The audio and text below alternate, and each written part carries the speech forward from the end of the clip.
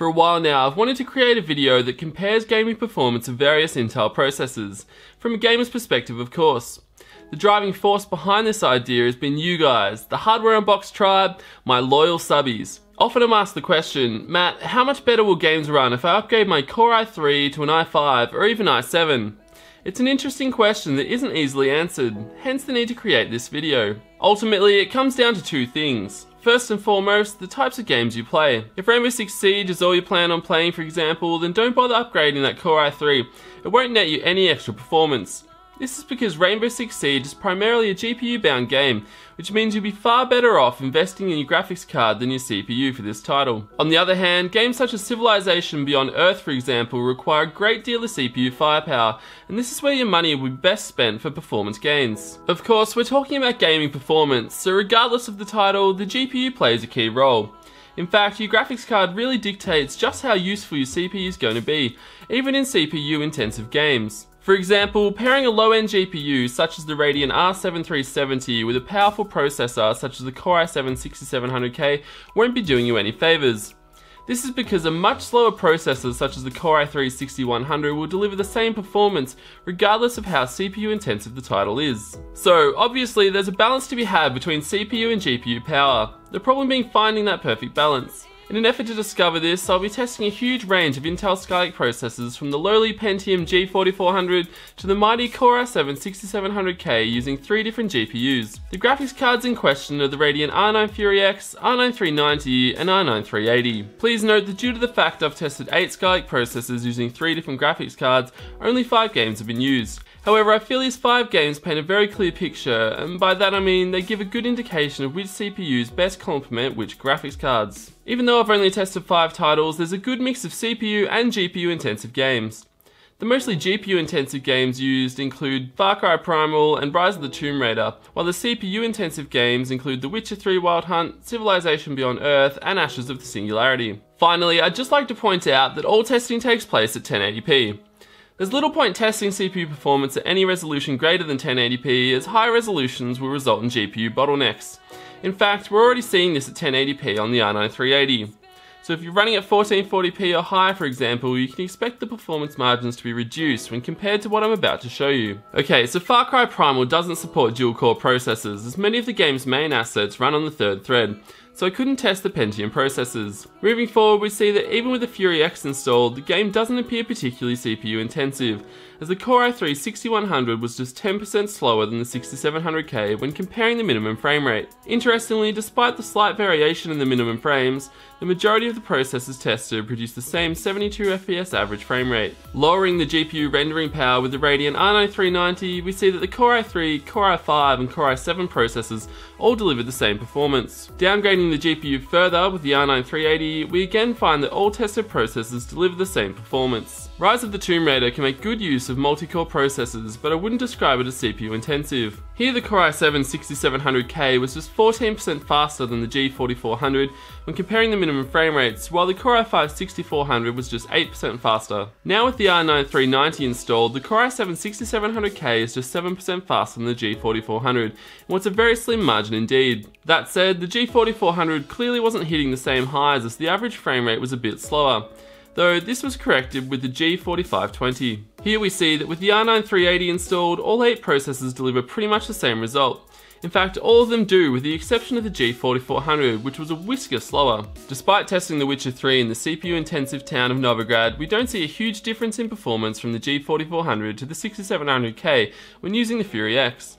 In fact, here the 6700K was just 8% faster, which I have to say was a real surprise. Moving to the R9 390 saw a much larger variation in performance when comparing the dual-core Pentium processors to the 4-threaded Core i3, and ultimately quad-core Core i7 processors.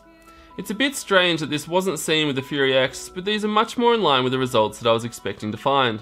Here the Core i3 6100 was able to get the most out of the Radeon R9 390 and was 22% faster than the G4400. The Core i5 6400 was actually slightly slower than the Core i3 processors due to its much weaker core clock speed. Now with the lowly R9 380 installed, it appears that the processor becomes far less important, as the Pentium G4520 was able to match the Core i3, i5 and i7 processors. Probably the most CPU intensive game featured in this video is Civilization Beyond Earth. Here the 6700K was 66% faster than the G4400 and 56% faster than the G4520 when comparing the minimum frame rate. The 6700K was also 33% faster than the Core i3 6320 and 10% faster than the 6600K. Going with a slower GPU in the R9 390 only reduced the 6700K's lead over the G4400 by a small amount, as it's now 61% faster. The low-clocked Core i5 6400 was only able to match the Core i3 6320, while the much higher clocked 6600K matched the 6700. Even with the R9 380 handling the rendering work, the 6700K was still 53% faster than the G4400, which dropped down to just 32 FPS. It's important to note that while the average frame rates don't show much of a difference in performance, the minimums tell a different story. Ashes of the Singularity provides us with a look at both DirectX 11 and DirectX 12 performance. Unfortunately, I'm only able to compare the average frame rates as the game doesn't report the minimum frame rate and I have no other means of recording it under DirectX 12, as programs like Fraps don't work. Nevertheless, the results are very interesting. The Pentium results are the most noteworthy for a few reasons. Firstly, although the DirectX 11 performance is quite weak when compared to the mighty Core i7 processors, it isn't that bad when compared to the Core i3 and lower clocked Core i5 6400 processors. The Pentium G4400 was 24% slower than the Core i5 6400 for example. Not a bad result given the Core i5 processor has twice as many cores to play with. However, once we move to DirectX 12, the G4400 becomes 28% slower than the 6400. While the Pentium processors fall behind, the Core i3 processors are able to roughly match the Core i5s and therefore the Core i7 processors. It is worth noting that although the Pentium processors didn't perform as well under DirectX 12, they still received a healthy 45% performance boost when compared to DirectX 11. Similar performance trends are seen when using the R9 390. The G4400 received a 47% performance boost when using DirectX 12, though this meant it was still over 20% slower than the Core i3 processors in the more modern API. On the other hand, the Core i3, i5 and i7 processors all delivered similar performance when using DirectX 12. Now using the R9 380, the GPU's limits seem to be reached at 39 FPS under DirectX 11, as evidenced by the Core i7 6700 and 6700K results. This meant that the G4400 was 28% slower, while the Core i3 and Core i5 6400 processors were just 8% slower. Retesting using DirectX 12, we find that all 8 processors produced the exact same result of 41 FPS. So what can we take away from all this testing? Well, firstly, as many of you already know, there isn't a great deal of difference between the Core i5 and Core i7 processors when it comes to gaming. This is particularly true when comparing the unlocked 6600K and 6700K processors to higher frequencies such as 4.5 GHz and beyond. Looking at the other end of the Core i5 spectrum, we find the Core i5 6400, a processor that can't work any faster than 3.3 GHz and will often be found running below 3 GHz during heavy loads. As a result, the higher clocked Core i3 processors were able to match and even beat the 6400 in CPU intensive games such as Civilization. Using the following line graphs as an example, we see the Core i3 6320 is capable of matching the Core i5 6400 when using high-end GPUs such as the Fury X. The 6600K and 6700 are also comparable, while the 6700K only appears faster due to its higher out-of-the-box operating frequency. It's clear that Civilization and games like it play best when at least 4 threads are available. Providing you meet that criteria, the next important criteria is the clock speed of the physical cores. The importance of the CPU clock speed becomes obvious when comparing the two Core i5 processors. However, although Civilization is primarily a CPU bound game, the performance difference between say the G4400 and 6700K won't be as extreme with lower end GPUs. In fact, out of interest, I threw in the GTX 750 Ti, a popular choice amongst budget gamers. What I found was every single one of the CPUs featured in this video allowed for an average frame rate of 45 FPS with a minimum of 31 FPS. This then is why it's so important to match your GPU to your CPU, or vice versa. For budget gamers using low-end GPUs, there's little need for a Core i5 processor, as it's very rarely going to be more useful than a Core i3, or in this case, a dual-core Pentium processor. It is becoming harder and harder to justify investing in a dual-core processor like the $60 G4400.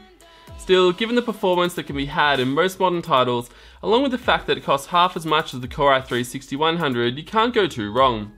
Conveniently, picking up an affordable Pentium processor now still leaves the option to upgrade down the track, so it's not a dead-end scenario. Rise of the Tomb Raider, for example, plays surprisingly well on modern dual-core processors such as the G4400 or G4520. In fact, depending on the GPU being used, there might be little to no performance gain to be had when opting for a more powerful Core i5 or Core i7 processor. So the answer to which CPU do I need still isn't a simple one, but it ultimately comes down to which games you play and to a lesser degree the graphics card you'll be using.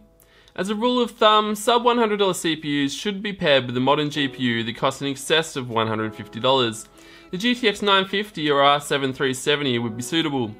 The Core i3 processors work well with the GTX 960 or R9 380, while the Core i5s and faster are best paired with the R9 390, GTX 970 or faster. I hope you found this video useful. I'm your host Matt as always, and if you have any questions at all, then please leave them in the comments.